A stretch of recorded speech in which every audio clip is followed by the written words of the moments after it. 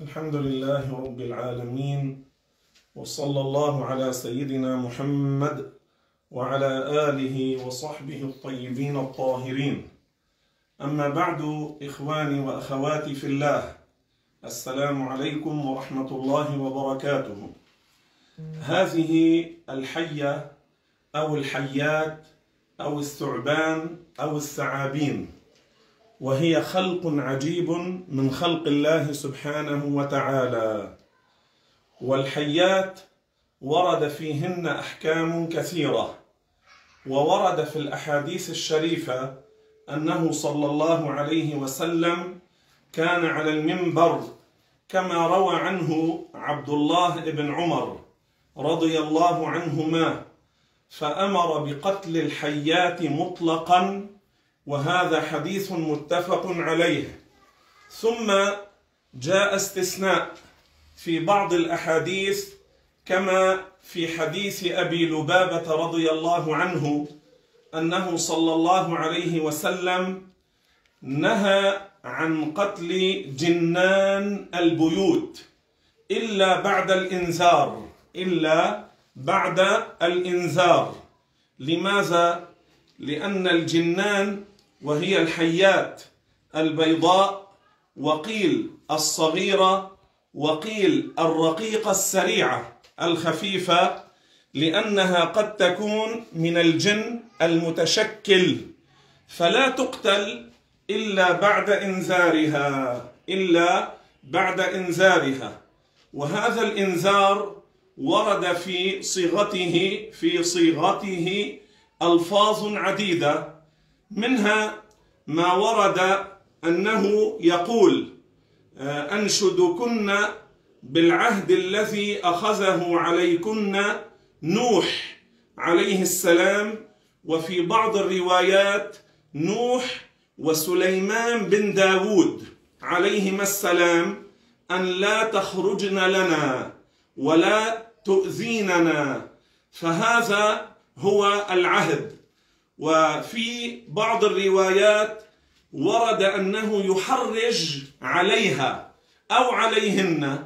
والتحريج كما قال الحافظ ابن حجر العسقلاني يقول أحرج عليكن وأضيق. لماذا؟ لأنه إن كان من الجن فبهذا الإنذار وبهذا التحريج إذا قتلته بعد الثلاث فلا يحصل لك أذى ولا ضرر من غيره من الجن بإذن الله تعالى. والإمام مالك يقول إن التحريج والإنذار يكون لفظا باللسان ثلاث مرات وليس ثلاثا يعني ثلاثة أيام. بعض العلماء قالوا ثلاثة أيام يحرج. الإمام مالك قال لفظا باللسان ثلاثا يعني ثلاث مرات في وقت واحد ثم إذا ظهر فقتله لا حرج بعد ذلك.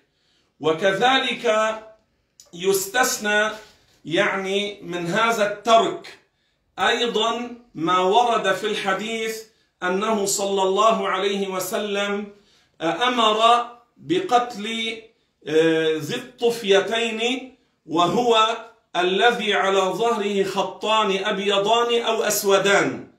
هذا يستثنى من الترك. ما معنى يستثنى من الترك؟ يعني هذا يقتل. لماذا؟ قال صلى الله عليه وسلم لأنه يسقط الحمل ويطمس البصر. ويطمس البصر. يعني إذا رأته المرأة هذا ذو الطفيتين الطفيتين تفزع تخاف ترتاع فتسقط الحمل. وأيضا يلتمس البصر هذا فيه أقوال عند العلماء. بعضهم قال إذا نظر إليه قد يخسر بصره قد يفقد بصره. وقال بعضهم إنما هو يتبع الإنسان ليضربه في عينيه فيخسر بصره يفقد البصر. هذا قول آخر لبعض العلماء. فهذا ذو الطفيتين أمر النبي صلى الله عليه وسلم بقتله ولو كان في البيت ولو كان في البيت. إذا هذا باختصار.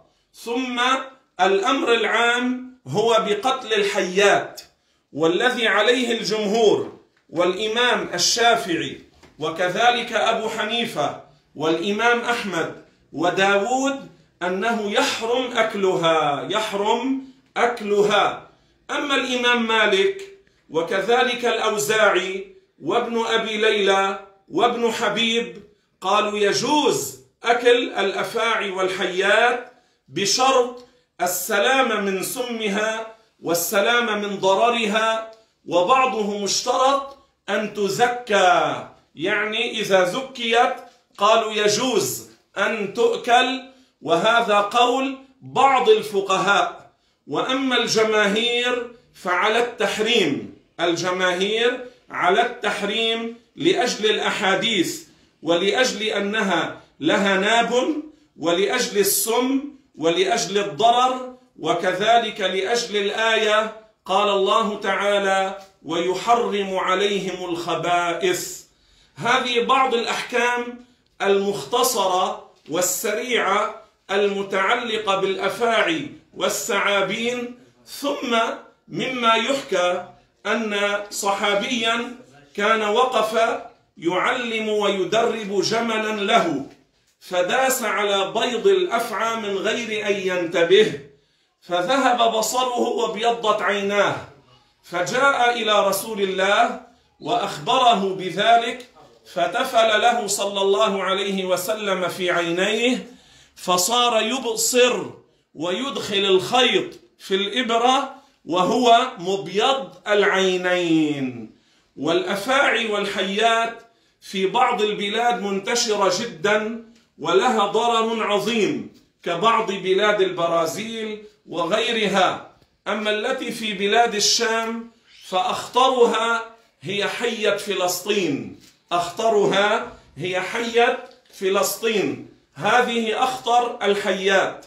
فالحاصل يجوز عند بعض الأئمة كمالك والأوزاعي وكما قلنا عند ابن أبي ليلى وعند ابن حبيب أن الأفاعي تؤكل. بعضهم قال بشروط السلام من ضررها السلام من سمها وبعضهم قال لا يجوز إلا للضرورة وبعضهم قال لا يجوز إلا للضرورة.